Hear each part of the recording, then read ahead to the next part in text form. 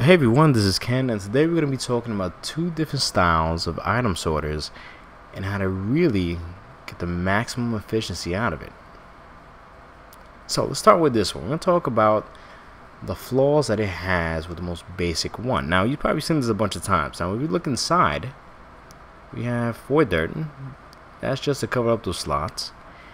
And this where lies a problem. We have 18 iron ingots and then one underneath. That's a total of 19, which to me seems very excessive. So let's start off with the second system. Now this is the overflow protection system, which is great, but it, it requires 41 iron ingots and one underneath. Now to me, that's a waste of material. That's 41 items I will never use again. Now we're trying to sort diamonds. That's a bit of a pain to do as well. You know, you know how hard it is to get diamonds.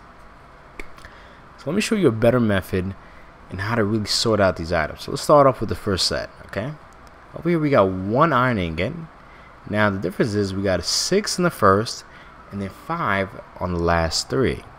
Okay, five dirt. Now I use dirt because dirt is the most common material found in Minecraft. I mean, who the hell sorts out dirt? But if you do, then make sure you use a different material. So this is how it works. You put your 63, well 62 items in this case. It's going to flow right through. And it's going to be left with just one iron ingot right on top. Look at that. That's exactly what we want. Okay, if, if I want to sort my items, I don't want to use a whole stack just to figure it out. One or two will be just enough. Look at that. Awesome. Now, this is the overprotection flow system and I have the same setup okay? The only difference is you only have to use 11 blocks of dirt in each slot.